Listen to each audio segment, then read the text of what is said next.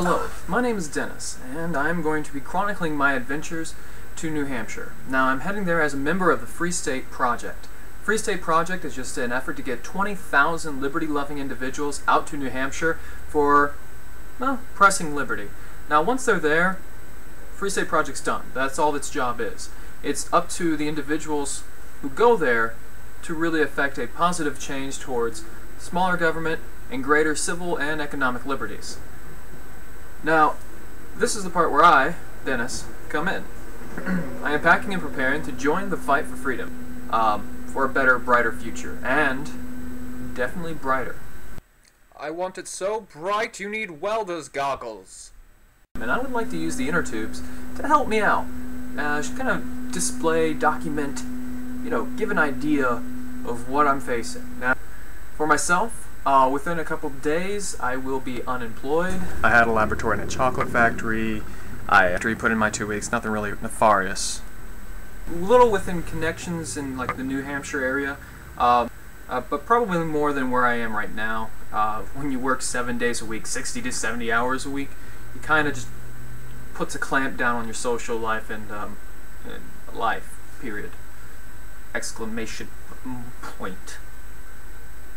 Um, no, I've, I've had a little bit of a success. These are my notes. Ah. Okay, uh, but that's just it. Me, car, goods, very little connections, and no job. So, I'm pretty much doing this in the absolutely worst way you could possibly do it.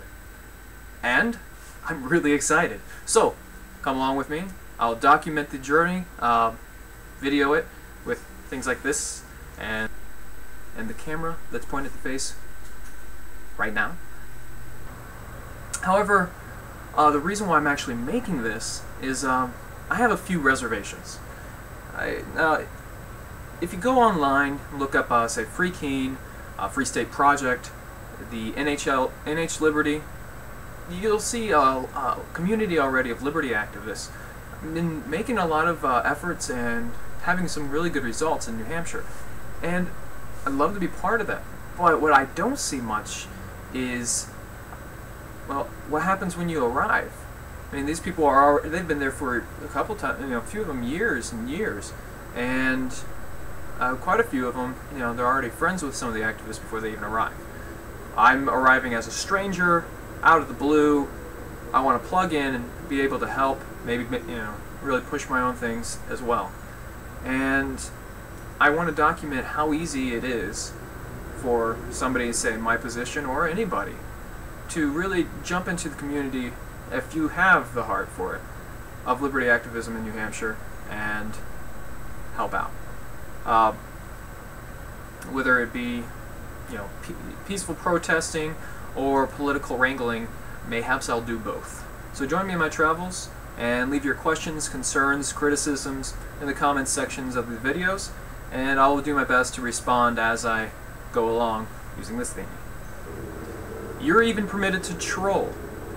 In fact, please do, but keep it good, because classy troll is classy.